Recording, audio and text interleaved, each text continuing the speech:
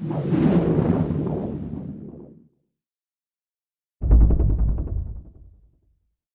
everybody, this is uh, once again Justin from OWI Robotics and this is the OWI 007 uh, robot troubleshoot um, which is this guy right here. It's a robotic arm trainer.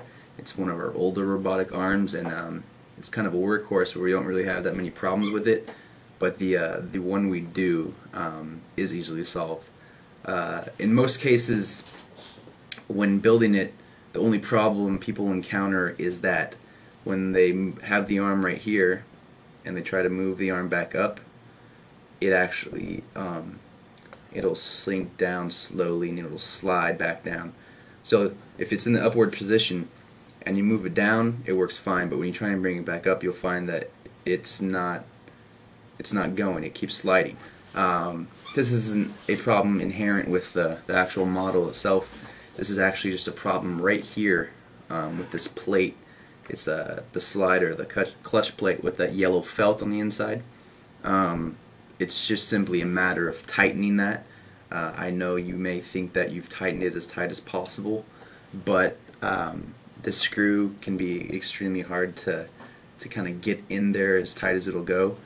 Um, so what you want to do is, if you think you got in there as tight as tight as possible, uh, hand it to somebody that you think is stronger than you, and uh, just really just keep going until it can't go anymore. And you'll find that uh, if you do that it'll it'll move up and downs with uh, no hitches.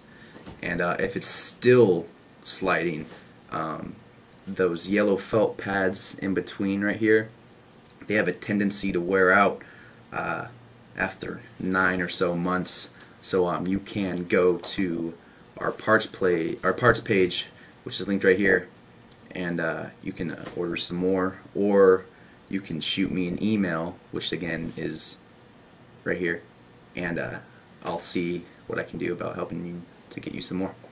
Alrighty, hope this helps.